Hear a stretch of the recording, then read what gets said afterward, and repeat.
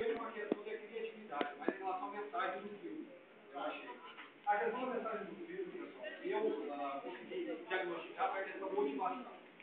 A motivação, ele vai falando de novo. Rápido ou não, nos leva a fazer certas coisas que nem nós mesmos pessoas somos capazes de fazer. É a questão de quebra de paradigma. Uma delas, uma delas é o rato cozinhar.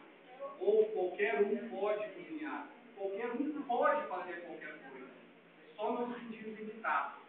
A limitação, ela vai depender das exclusivamente das nossas cabeças. Se nós não soubermos que é impossível, gente falar e faz.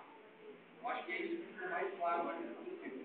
Basta nós querermos, basta nós nos esforçarmos, que com atividade de inovação a gente chega em qualquer lugar.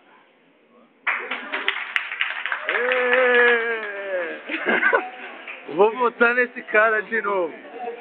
Vou votar nesse cara de novo.